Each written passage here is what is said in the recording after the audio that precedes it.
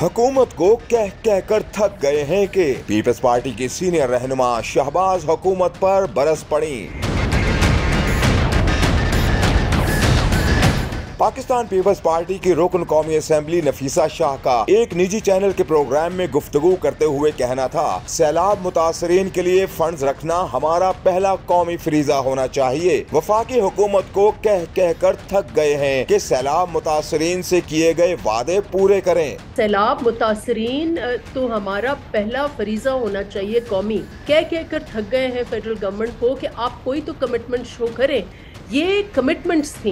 Peoples party के senior रहनुमा ने कहा कि मेरे हलके में सैलाब से मुतासरा नेशनल हाईवे की बहाली अब तक नहीं हुई। मुल्क में सियासी मुआशी आईनी और लॉ एंड ऑर्डर का बहरान है। मेरे ज़िले में जो रोड सैलाब ने तबाह किया आज दस आ, कितने माह हो गए? अगस्त में आपकी बारिशें हुई हैं।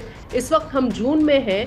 यकीन करें एक चप्पा भी उस रोड का नहीं बना। नफीसा शाह का मजीद कहना था कि बजट में कुछ चीज़ें मुस्बत हैं, लेकिन हुकूमत ने टैक्स नेट बढ़ाने के लिए कोई कदम नहीं उठाया। सरकारी मुलाजमीन की तनख्वाहों और पेंशन में इजाफा होना चाहिए, लेकिन हकीकत को भी सामने रखना चाहिए।